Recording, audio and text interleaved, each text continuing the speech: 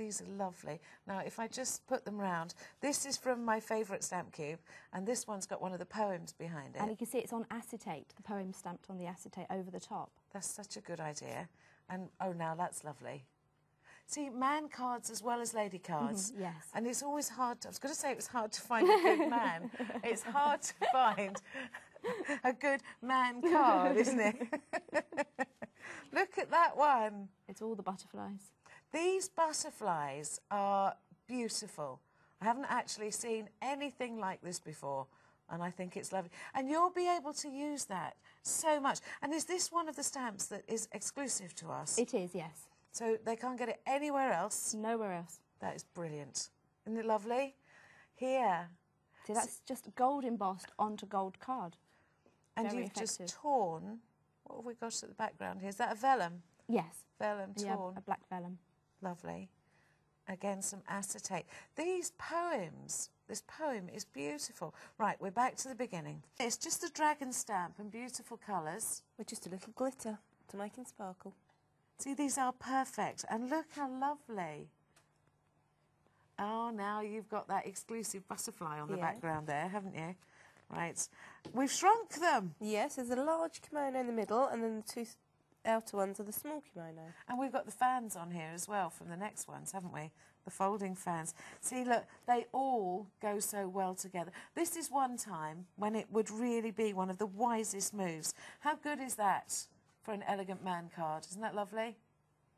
Um, it really would be one of the mi- wisest moves to get several sets, wouldn't it? Yes, well, they do go together so Yeah. well.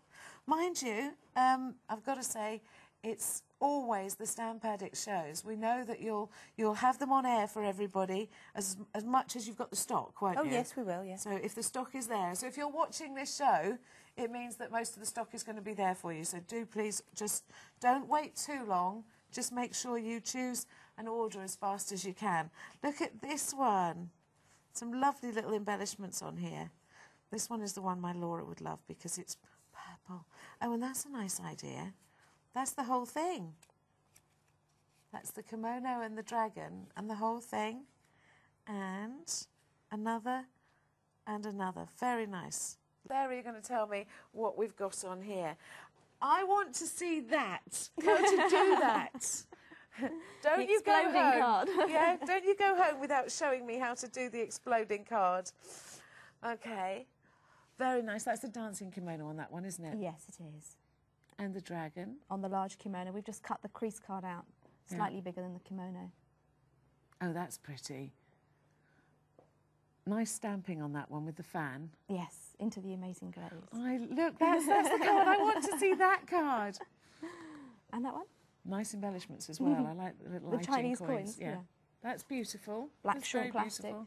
Yeah, And the fan. tassels. Beautiful. Shrunk kimono. Yeah. Just on gold card. That's very nice too.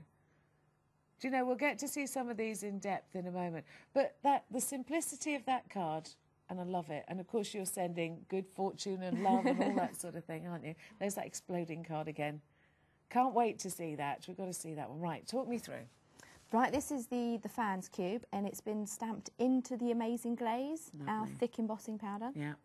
And we've just we've got the plum tree in the background, in a plain gold, and just some embellishments to finish it off. That's lovely. Nice and easy that one. Now, that plum tree poem, shall I tell you what that says?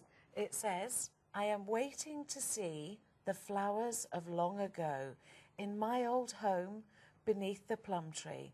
Has the snow melted? And that was 1243. That's lovely. Is that into Amazing Glaze as It well? is, yes. And you have to remember when you're stamping into Amazing Glaze, you need to ink your stamp first. Yeah. And a gold ink pad is always very good because it will then release it from the hot liquid. Yeah. So it's easy to get out. And you can mix the embossing powders you use with the Amazing Glaze for any different colours. Oh, really? And it makes it into a tile, doesn't Yes. it? That's what you get. You get such a beautiful look with these. Mm-hmm. Now, the details on your screen are for Aiko and Beneath the Plum Tree. That's dancing. The dancing kimono onto clear shrink plastic, and then the back of it is coloured with a gold pen. It's lovely. So it gives you that really bright gold finish. It's exquisite. Um, but if we wanted to use foils, we could do, couldn't we? Put some foils on the back. You would have to apply glue because it's plastic, shrink Right. plastic. Okay. So, and you see the background of the card was with the plum branch. 92066, this is Dancing Kimono you're looking at now. And it's got the Poem Fan stamp set, £21.20. But they all, they all work with each other. Oh, that's nice. This one is onto acetate, Yeah. and then we've put glue on the back and glitter. So you glue the flowers and glitter them gold, and then you glue the rest of it and glitter it red. Now, is that embossed behind the background? Embossed? Yes. Yeah. gold very- on gold. Yeah, that's lovely. Um, and the layering is so effective. The matting that you've done, just keeping the colours going. And some bamboo in the background. Yeah, fabulous ideas.